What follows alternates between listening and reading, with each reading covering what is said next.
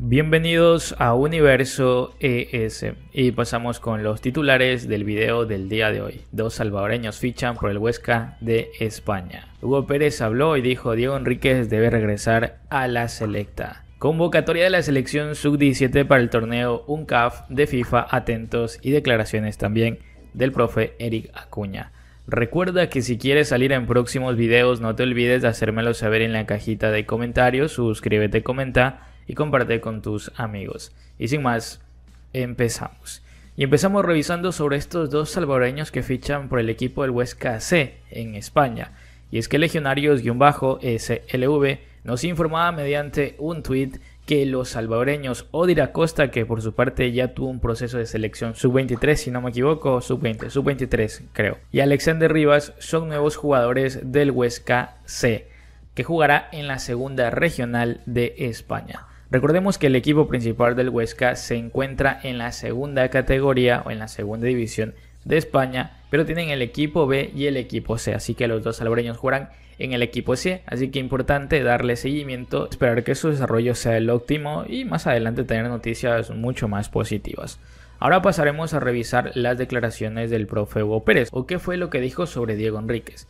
Y es que el ex de la Selecta, el profe Hugo Pérez mencionó en entrevista con el programa Superfútbol que la comisión normalizadora de la Federación Salvadoreña de Fútbol FedFoot, encabezada en su momento por Humberto Sainz Marinero, se equivocó al no tratar de incorporar de nuevo a su equipo de trabajo a Diego Enríquez, el que en su momento fue el director deportivo de selecciones. De acuerdo al profe Hugo Pérez, alguien que trató de aportar en beneficio del balompié salvadoreño fue Diego, en la búsqueda, por ejemplo, de patrocinadores para el azul y blanco, entre otros aspectos.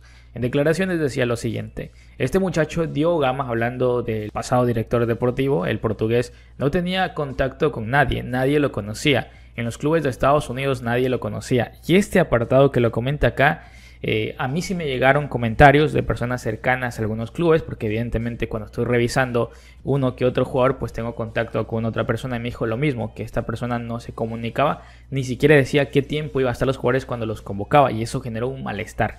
También acá nos comentaba lo siguiente. Dijo que no necesitaba ir a los clubes de Estados Unidos. No puedes trabajar así. Estamos hablando de una ayuda de afuera del país. Nosotros pudimos resolver muchos problemas. Esto con la ayuda de Diego Enríquez fue lo que comentaba. Ahora sí pasaremos a revisar la convocatoria de la selección sub-17 para el torneo de UNCAF de la FIFA. Y es que recordemos que este torneo del UNCAF se va a realizar en Nicaragua del 6 al 12 de noviembre. De lo que he estado revisando la convocatoria, que por cierto la voy a dejar ahí en pantalla, así que ustedes desean, pueden pausar y revisar nombre por nombre las jugadoras que han sido elegidas para representar a la selecta en este torneo sub-17 del UNCAF. Vemos una mezcla por su parte entre locales y algunas legionarias. Creo que más que legionarias, ustedes lo pueden ver en la convocatoria.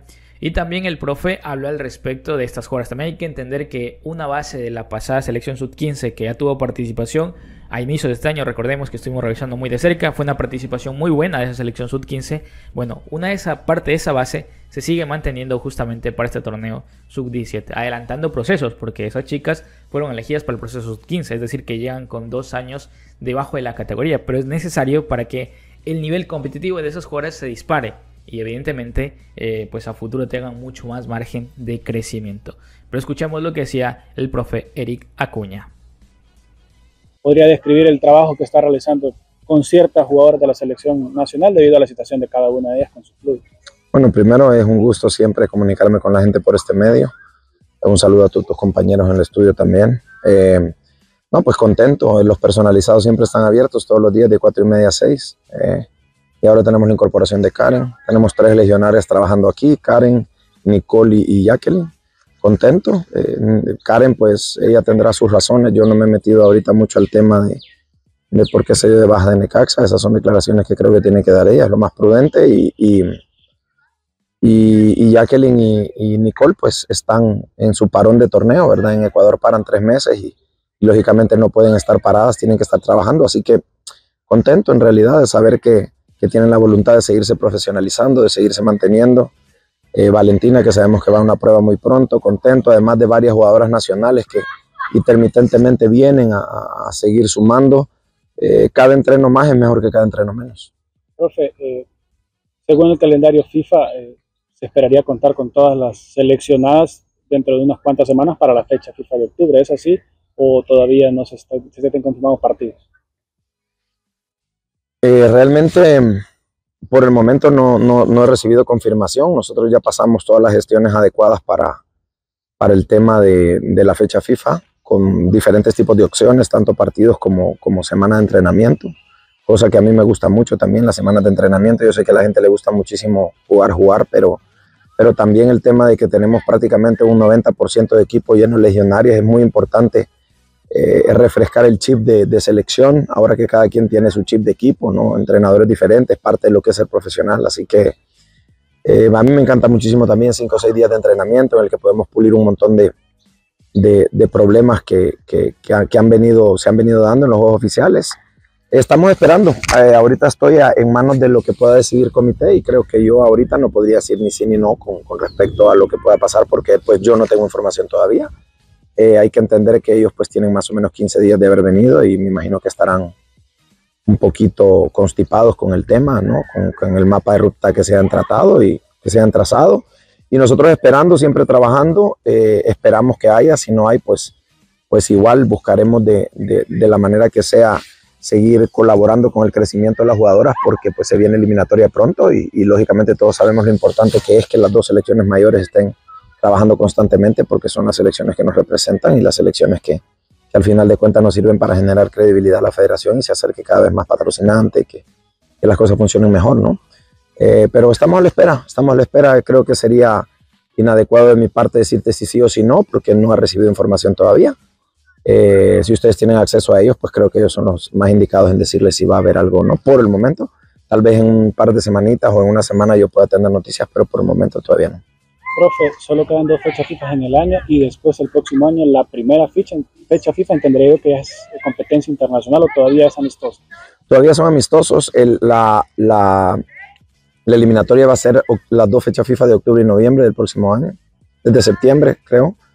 Eh, pero son pocas, la verdad, porque pues estaríamos hablando de cuatro fechas FIFA antes de, de enfrentar Liga A, antes de enfrentar ser cabezas de grupo. Eh, todos sabemos que hay que quedar primero en, en, fútbol femenino para poder acceder, cosa que es complicada. Entonces, pues sí sería, sería muy bueno que se le diera la constancia y el seguimiento a estas muchachas que en realidad nos han representado muy bien. Eh, ¿Qué nos puede decir sobre el, siempre lo vemos en sus redes sociales, viendo a todas las legionarias en sus diferentes ligas? Eh, a nivel de clubes, las seleccionadas están teniendo participación. Brenda y Daniel estuvieron en el 11 de la Liga MX de semana. Bueno, yo creo que es histórico, ¿no? El tema de que, de que o sea, no solo, no solo estar, sino estar y, y, ser protagonista, creo que es la parte más importante. Creo que ellas se han llevado esa idea bien inmarcible en su cabeza y están tratando de ejecutarla de buena manera. Eh, realmente el, el ahínco es incorruptible el que ellas tienen, ¿verdad? El de estar, estar, estar y mejorar cada día siempre se les ha vendido la idea de que tienen que, que, estar listas para lo que quieren, no para donde están. O sea, si, si tú quieres llegar a otro lugar, pues tenés que estarte preparando para ese lugar, aunque te alcance para el que estás. Y creo que fue un fin de semana eh, inmejorable para las elecciones. Metió gol Basti, metió gol Dania, metió gol Daniel, metió gol Fischer en Italia, metió gol Brenda. O sea, fue excelente, nos la pasamos espectacular. Y para contestarte la pregunta directamente, creo que ellas se merecen que nosotros estemos viéndolas porque pues no solo por eso, sino que pues se platica de los partidos, se aconseja, siempre y cuando ellas lo pidan, siempre, por supuesto sin meternos en las metodologías de los entrenadores que ellos tienen como en, cada uno de sus equipos, sino lo hablamos de carácter personal. Y para poder corregirle cosas personales, pues hay que estarlo viendo. Yo creo que todo entrenador principal de selección tiene que saber exactamente cómo jugó su jugador semana a semana, porque eso es lo que dicta que, tenga la continuidad y, y, la ponderancia para ser llamado a selección como tal. No podemos quedarnos con lo que hizo Brenda hace un mes, mes y medio en la selección. O sea, tenemos que, que, que, que, irla viendo cómo está, si ha subido de peso, cómo está corriendo, si hay alguna lesión. Hay que darle seguimiento. Es, es creo que algo que, no, no, no, no, no se debe dejar de hacer. Estamos cerca del inicio del torneo UNCAF en Nicaragua. ¿Cómo se encuentra la preparación para ese torneo? Bueno, pues empieza el 25 de este mes, vamos a recibir 28 jugadoras, eh, de las cuales eh, 11 son nacionales, eh, las demás vienen de, de, entre Estados Unidos y Canadá. Eh, de ese listado vamos a viajar 20 el día 4 de noviembre, el torneo empieza el 6, termina el 12, regresamos el 13, va a ser en Nicaragua, eh, todavía no tenemos los grupos, me imagino que la otra semana ya más o menos faltando tres semanas eh, o dos semanas, ya un CAF manda los grupos, estos no son rifados, son, son armados, así que pues a esperar los rivales y a tratar de, de, de, emular esa medalla de bronce, que es la que tenemos que defender, y tratar de que el techo sea mayor, no a una de plata una de oro.